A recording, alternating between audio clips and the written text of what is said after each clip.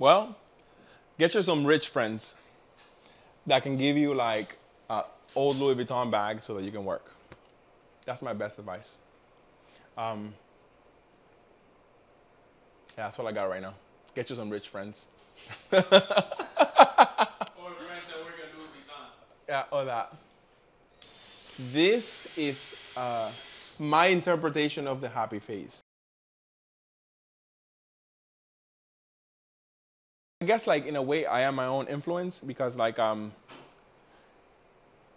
all of this it's called paintings. I'm kind of uncomfortable with that term, paintings, but all of these paintings are like very graphical, right? Um, they are not trying to mimic real life. This is not a real face. Um, they are a feeling. That's what it is. They are a feeling, right? So I'm like, okay, what is the feeling that I'm trying to communicate? And then I'll do it this size. Then I'll do it this. I'll do it this size like 30 times. Once I nail down the doodle, I'll do it this size 30 more times, or however long.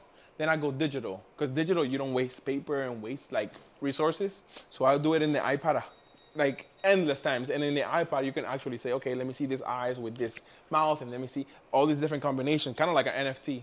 Very, very graphical. Then once I re once I get the one, I'm like, okay, well, let's make them this size. And I make them all like this.